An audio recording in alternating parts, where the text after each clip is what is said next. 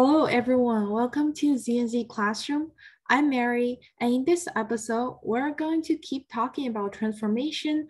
However, in this case, we're talking about that f of x is actually defined in terms of x. So let's start. You have found that is this is pretty easy when you have this thing written over here. So let's start. For example, first, let's define f of x equal to x squared. So how am I going to apply the transformation over here to x squared? So like I said, I already have this thing over here written, right? And it's going to be really easy to apply to an actual defined function.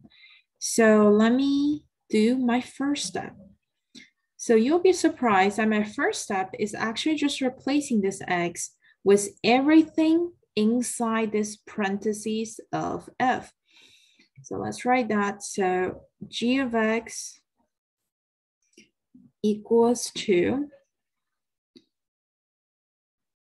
9 x plus 5 squared. Then my next step is going to be written the thing outside over here, which is just a two.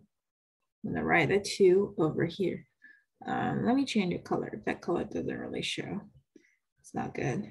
Okay, let me change a darker green. So this two over here, I'm just gonna put in front of this function. See, it's pretty easy. This is actually completed.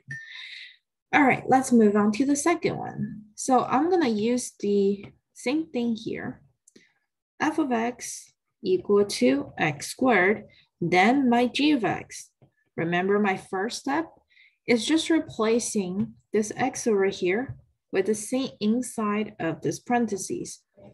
So what I'm gonna do, I'm gonna write 9x plus 5 squared first.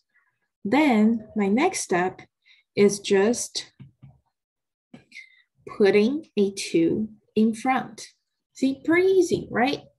So now let's move on to number three. So maybe you can try on your own now. So let's do this. So f of x equal to x squared, right? So what my g of x gonna be is g of x equal to replacing x with the same inside here, which is 1 fifth x minus 10 squared, right? And then I'm gonna write the thing outside, which is a negative and a minus seven. Negative minus seven, right? So pretty easy. And then my next one, which is exactly the same thing. I'm gonna have f of x, uh, exact same thing, besides my minus seven becomes plus seven. I'm going to just use the same color here. Uh, okay, so g of x equals to, oh, wait, give I think this kind stuck.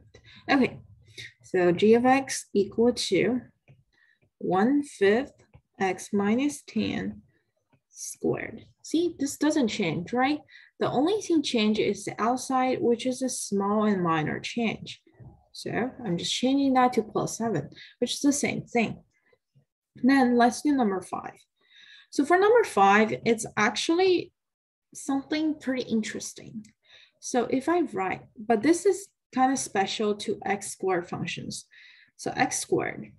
So then I could write my g of x equal to negative 4 third x minus 8 squared is just gonna equal to 4 third x minus a squared.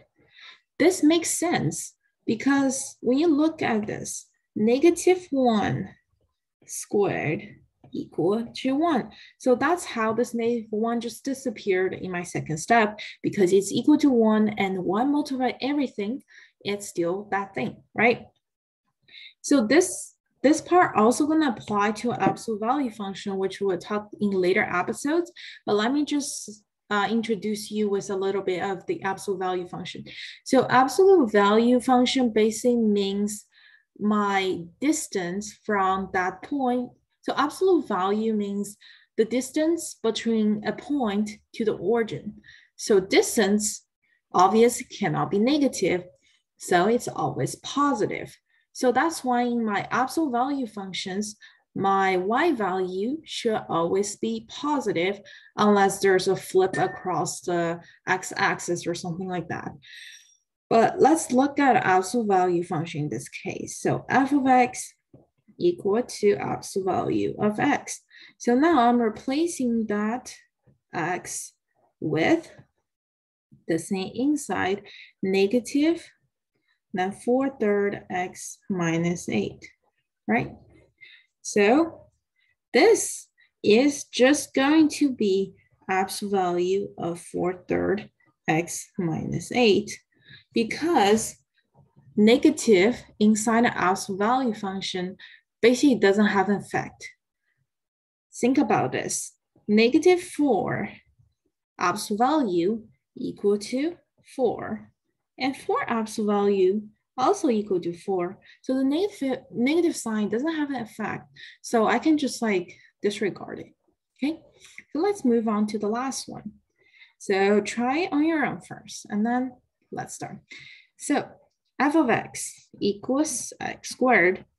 g of x, let me write it over here. g of x equal to negative 7 fifths Okay, let me still do the same color code.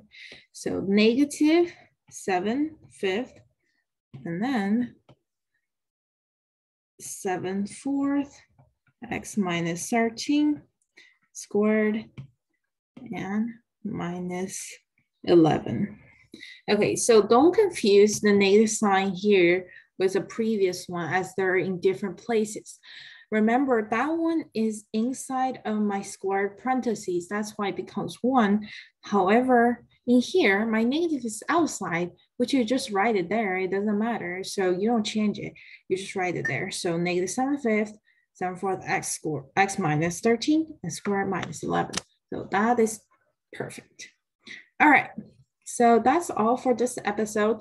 And we'll see you in next episode. Thank you.